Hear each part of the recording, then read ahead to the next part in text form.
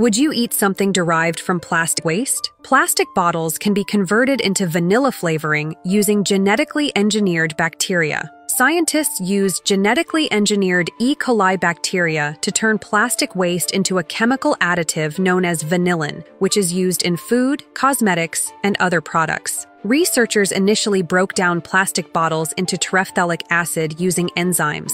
They then transform terephthalic acid into vanillin by mixing it with engineered E. coli, at 98.6 degrees Fahrenheit. With the help of bacteria, they achieved a 79% conversion rate. The research opens up new possibilities in green chemistry, showing a promising way to repurpose plastic waste into valuable substances, although it's not yet confirmed if the resulting vanillin is safe for consumption. More studies are needed to refine this method and scale it up for larger plastic quantities. This innovation not only addresses the growing vanillin demand, but also presents a new approach to reducing reducing plastic waste and contributing positively to the circular economy. Other research unveiled the remarkable ability of mealworms and superworms to consume and degrade plastic. Mealworms can safely ingest various forms of plastic, including toxic additives in polystyrene, without any adverse effects, making them yet another viable option for reducing plastic waste and recycling it into protein-rich feedstock for other animals. The degradation of plastic by superworms worms is facilitated by specific bacteria in their guts, particularly a strain of Pseudomonas aeruginosa that uses an enzyme called serine hydrolase to break down the plastic.